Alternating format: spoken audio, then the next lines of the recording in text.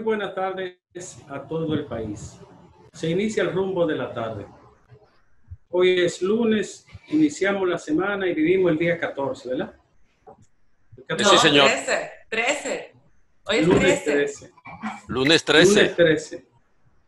Para nosotros, como siempre, es un gratísimo honor contar con la radio audiencia que cada día nos acompaña de lunes a viernes de 3 a 5 de la tarde en el rumbo de la tarde de Rumba 98.5. Gracias por estar con nosotros. Buenas tardes, compañeros. Eh, buenas tardes. Aquí estamos, como todos los días, en un mundo diferente. Un mundo bastante elusivo, raro, un mundo desconcertante, un mundo difícil de definir en este momento, un mundo en tránsito. ¿Hacia qué? No sabemos pero un mundo entrampado quizás en la propia grandilocuencia de su ciencia, de rodilla ahora frente a un virus y sociedades estremecidas, comenzando por la nuestra, como es lógico. Tú sabes que al vernos a nosotros haciendo el programa por aquí, ¿verdad? Y, ver este software y todo diferente, porque las cosas han tenido que adaptarse a la situación eh, yo pienso que eh, en muchas cosas positivas el mundo no será el mismo después que pase la pandemia. Y digo positivas, voy a poner un ejemplo muy sencillo, pero que podrá significar un cambio importante en la justicia en el país. Cuando esto pase, ya no habrá, no podrá eh, existir jamás la excusa de un reenvío de una audiencia porque no llevaron al preso. Porque ya en estos días las audiencias se están haciendo de esta forma, de manera virtual. Entonces ya se demostró que se puede, que hay alternativas. Entonces ya en el futuro eso es inaceptable, un reenvío puede esa causal, por ejemplo. Papa, buenas tardes. Buenas tardes, sobre todo en este primer lunes después de Semana Santa, que por suerte el 13 es hoy, no mañana, que comienza la segunda parte de, esta, de este encierro que tenemos todos nosotros. Yo creo, sin embargo, que ya la gente está eh, reaccionando con las características que podía esperarse.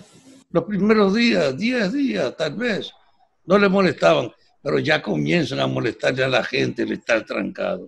Solo los expresos estamos tranquilos aquí. Así que con esa conciencia de un expreso que siente un día más, que era el grito de nosotros, un día más, yo los saludo a todos ustedes y espero que esta semana sea también dulce y agradable sin que nos sigan incrementando los muertos de los informes de la mañana. Gracias. Domingo Páez. Buenas tardes. Buenas, tardes.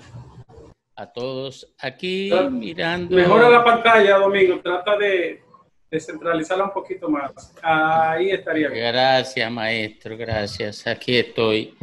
Eh, nada, me procurando encontrar informaciones positivas que le lleven algún aliento a la gente, informaciones que ayuden a construir la certidumbre necesaria a una situación, como refería Fafa, de encierro. La gente lo que necesita es que se le oriente sobre para dónde vamos, qué puede esperar, cómo puede salir y eh, acudiendo, si se quiere, hasta esa frase hecha, ya gastada, eh, de que le ayuden a ver eh, la, la luz al final del túnel.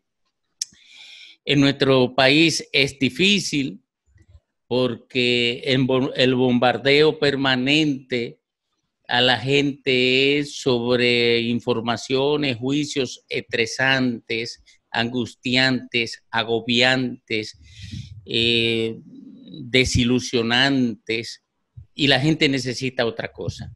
La gente necesita, por ejemplo, que le digan que en España ya están eh, comenzando a flexibilizar la cuarentena y que el debate es cómo hacerla sin que eh, le afecte a la gente. La gente necesita informarse, por ejemplo, que en Sudáfrica cae brutalmente el contagio, el crecimiento del contagio y que incluso las camas listas en los hospitales para recibir a los enfermos están vacías y que el mundo está investigando y buscando una explicación a este fenómeno que pueda orientarle para construir respuesta al desafío del momento.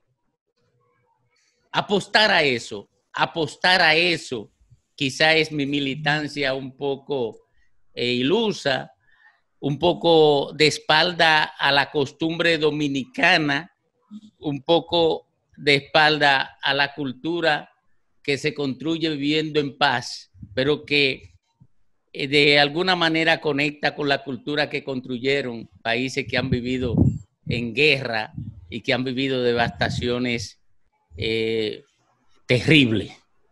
Ricardo. Yo quiero, quiero en esta entrada del programa que ustedes me permitan hacerme eco de dos situaciones que son muy delicadas. Me refiero al municipio de Pimentel en la provincia de Duarte y a Jarabacoa. Hoy voy a hablar solo de Pimentel en esta entrada. Y lo estoy haciendo porque en Pimentel hay una situación devastadora. Ahí se han perdido varias vidas de familias, incluso parejas. Ahí recientemente falleció una pareja y ahora acaba de morir la esposa de otro y el el esposo está grave, grave. Entonces me han llamado con llanto pidiendo por favor a las autoridades de salud y a las autoridades provinciales que echen la mirada hacia Pimentel. Los pueblos pequeños, a veces estos pueblos que son pequeños, comunidades pequeñas que no tienen tanta importancia geográfica ni poblacional, a veces por centrar la atención en los pueblos grandes, en las grandes, en las macro ciudades, y porque tienen los mayores problemas, a veces se olvidan esa, esa comunidad o, no se pone toda la atención. Incluso hace falta una gerencia eh, local importante. Pero lo de Pimentel hay que ponerle mucha atención. Porque ya, repito, hay familias afectadas, esposos, esposas, ambas parejas, padres, son comunidades donde todo el mundo se conoce y, se interactúa.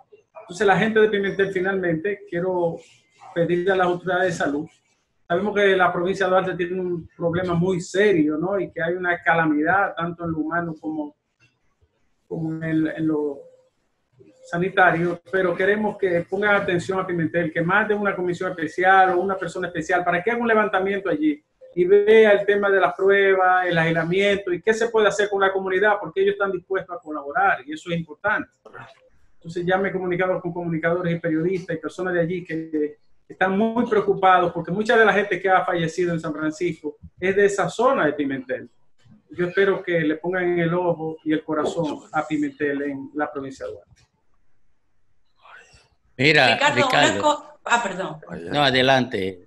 No, que ya que eh, tú trajiste a colación esa, eh, esa preocupación, esa queja, me han escrito varias personas eh, de manera privada en las redes y bueno, yo no tengo para ellos una explicación, pero quizás podríamos conseguir a alguien que la tenga, para decirme que tienen ciertas dudas y confusiones respecto al monto en la tarjeta Solidaridad y con el plan Quédate en casa. Ellos dicen que cuando tengo balance, dice 3.500, pero cuando van a pasarla... Le dan 2.000 y pico. Exacto, solamente 2.500. ¿No será que se lo guardan, digo yo? Porque no puede ser. No lo sé. ¿Que se lo guardan? no, se lo van a guardar? En un momento como bueno, porque hay, por ejemplo, para la tarjeta no pueden comprar todo lo que quieran. Hay, hay productos y artículos que no están permitidos. Bueno, esa es una, una queja generalizada. Yo le he oído hasta en otros programas y yo mismo he recibido como 15 o 20 personas que me interrogan sobre, sobre eso. Pero bueno, uno no tiene una, una respuesta. Ciertamente podría verla, eh, una respuesta, porque no puede ser que sea, digamos, algo fraudulento tan constante y tan extenso como, como para que eh, se convierta en, en un rumor generalizado, todo el mundo está preguntándose eso, la gente que la recibe. Incluso hoy en una fila, una señora se me acercó en una fila de un banco para decirme, preguntarme justamente sobre eso. Y yo le dije que yo no sabía nada, que había tenido otras informaciones, pero debía el área que creo que la vicepresidencia, que se encarga de los asuntos eh, asistenciales, eh, explicar con claridad qué pasa, que aparece con 3.500 y cuando van a cobrar le dan creo que 2.500 pesos, o sea, mil pesos menos. Domingo. Adelante, Páez. Mírenlo cómo está él, así es que le piensa ganarse el salario de este mes. Al Creo que perdimos domingo. No, tú no. Él está extasiado. Tan lejos que, tan lejos que yo estoy. Donde surge la noticia, donde hay más variedad, la propuesta de las tardes